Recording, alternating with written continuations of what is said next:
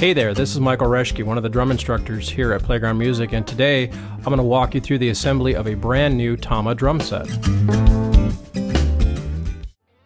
Alright, when you start to assemble your drum set, the first thing to do is make sure you pull everything out of the boxes so you can account for everything so you don't end up losing anything.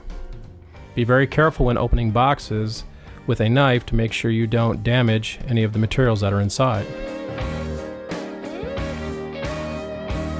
Alright, the next thing we're going to assemble is the hi-hat stand. It comes in a couple different pieces, but make sure when you assemble it that you finger tighten the pull rod only so you do not damage the stand.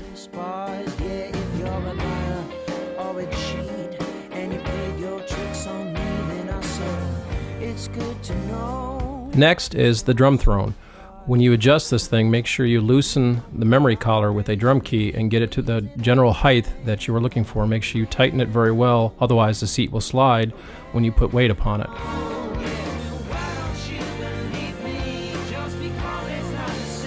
Next is one of the cymbal stands.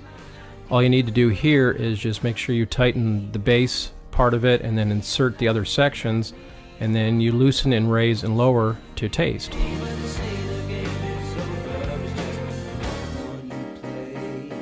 Next is the bass drum pedal.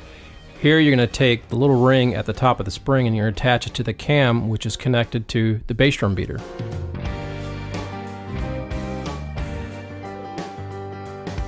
Next is the snare stand. Take the top section of the stand, insert it into the base, and you can do a basic adjustment here so that you can assemble the snare drum on the stand.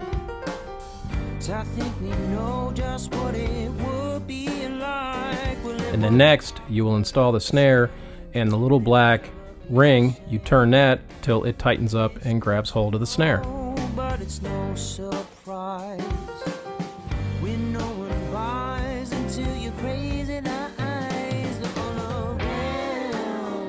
Next is going to be the floor tom. This drum comes unassembled and you're going to take your drum key and loosen up a few of the tension rods so you can gain access to the rims.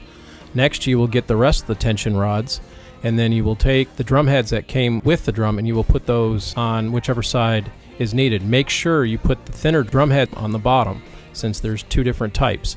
You will then put the rim on it and then you will insert the tension rods and hand tighten each one going around in a circle.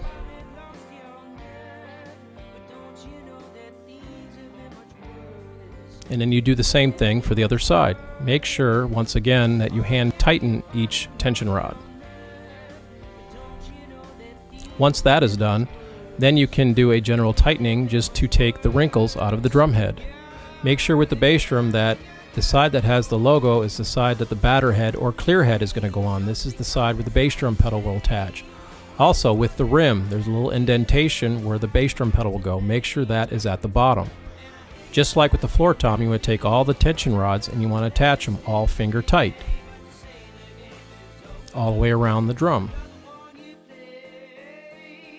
Once that's done, you can go around and you can tighten the head up a little bit to take the wrinkles out.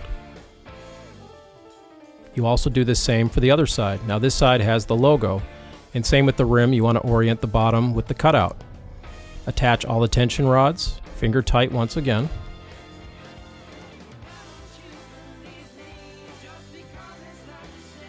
Once that's done, you can go ahead and tighten this head up a little bit as well to take the wrinkles out.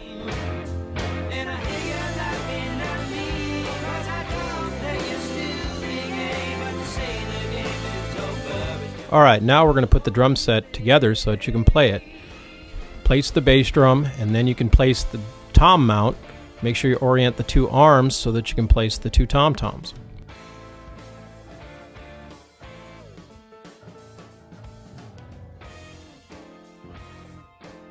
Next you mount each drum. Then you can bring out the floor tom oriented on the right side, put the snare on the opposite side, bring out the hi-hat stand, the cymbal stands, and then you could place all the cymbals as well.